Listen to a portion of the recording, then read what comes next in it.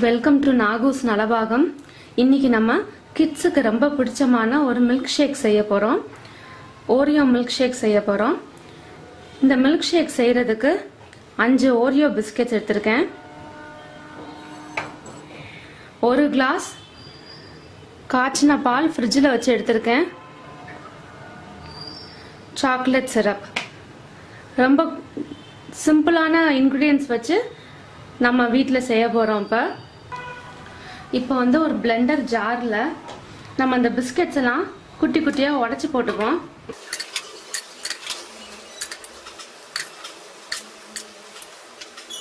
பால். Chocolate syrup ஒரு ரெண்டு teaspoon அளவுக்கு ஊற்றிருக்கேன் ஐஸ் கியூப்ஸ்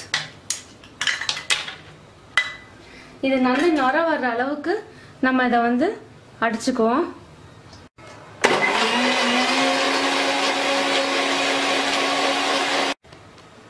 இப்போ நம்ம நல்ல நுர வர்ற அளவுக்கு நம்ம அடிச்சாச்சு. ஒரு சர்விங் கிளாஸ் எடுத்து அந்த கிளாஸில் வந்து நம்ம சாக்லேட் சிரப்பில் வந்து நம்ம கோட் பண்ண போகிறோம் இந்த மாதிரி கோட் பண்ணுறதுனால உங்களுக்கு வந்து அழகான ஒரு பேட்டர்ன் கிடைக்கும். சர்வ் பண்ணுறப்ப ரொம்ப நல்லா இருக்கும். டேஸ்ட்டாகவும் இருக்கும். உங்களுக்கு அந்த சாக்லேட்டோட டேஸ்ட் வந்து மிக்ஸ் ஆகி உங்களுக்கு ரொம்ப நல்லா இருக்கும் இப்போ பாருங்க பேட்டர்ன் நம்மளுக்கு அழகாக வந்திருக்கு. இது உங்களுக்கு சர்வ் பண்ணுறப்ப நீங்கள் இப்படி பண்ணிங்கன்னா அழகாக இருக்கும்.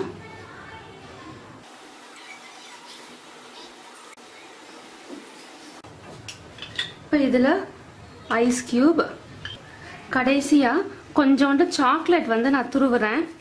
இப்படி துருவி போடுறதுனால உங்களுக்கு மேலே பார்க்கவும் அழகாக இருக்கும். நல்லா டேஸ்டியாகவும் இருக்கும்.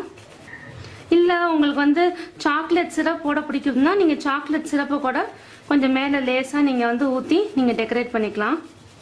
டேஸ்டியான ஓரியோ மில்க் ஷேக் ரெடி ஆயிடுச்சு நீங்கள் ட்ரை பண்ணி பார்த்துட்டு உங்கள் கமெண்ட்ஸ் எனக்கு சொல்லுங்கள் தேங்க்யூ